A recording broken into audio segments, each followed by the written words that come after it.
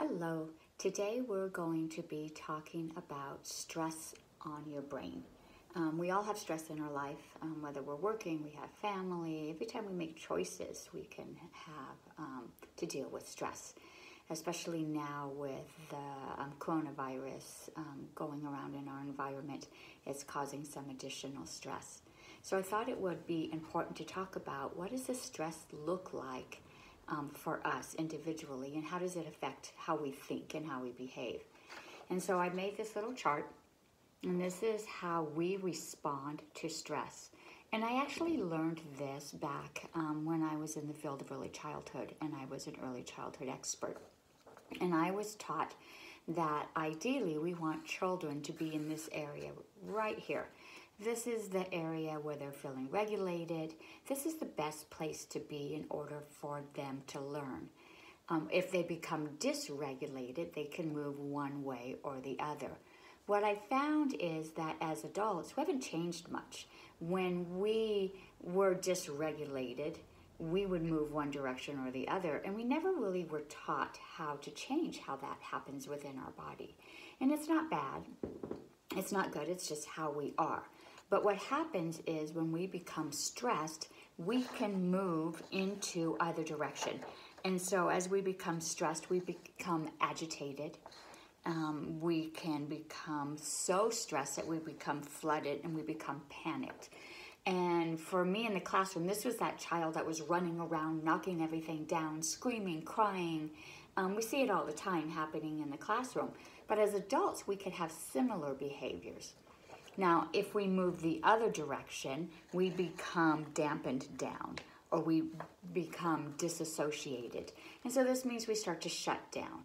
Um, this is the child that's hiding under the table, the one that's got their head down, super quiet. Unfortunately, these are the children that we often um, don't pay attention to because they're kind of managed. It feels like they're managing their emotions because they're not bothering others, but really their emotions are just as extreme as these children on this side. So we have, as adults, we have similar behaviors, and so when we are feeling stressed, we can become agitated. We could lash out at others. Um, we can act out, or we can disassociate. Um, we can decide, I don't want any part of this. And so you think about what's happening right now. Right now, um, you know, with the coronavirus, we saw people buying up all the toilet paper, right? They're in a panic mode. They think, I have to collect this, I need to save all of this. These are these people in this area here. And then you have those people that are walking around, they don't have the masks on. They seem as if they really don't care. But this is their style of handling this situation. And so this is important to know because you fit in this area, right? Either you're on this side or you're on this side, or you're somewhere in the middle of this continuum. And so for me, I become more active. So I'm cleaning the house, I'm trying to take care of things, um, I'm running around, I'm feeling a little agitated. This is how I respond to stress. My husband on the other side might become more dampened down. Maybe he's laying on the couch, he's binge watching television, to me, it appears that he's being lazy, he doesn't care, he's not concerned, but this is how he's handling the stress. And again, there isn't a better way, there is not a wrong way, it's just how we learned as a child to handle stress, and we're currently handling that stress now. I find it important to know because now I understand he's not being lazy. He doesn't it's not that he doesn't care, but this is his body's way of handling stress. Now, he sees me on the other side, you know, running around all frantic, trying to take care of everything, thinking, you know, this is a crazy lady and there's no reason to be behaving like this. This is how I'm handling my stress in this situation.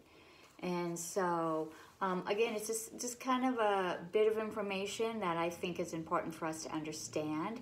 Um, ideally, we want to be right here in this alert processing area, this is when we're at our most optimal um, position as far as handling stress.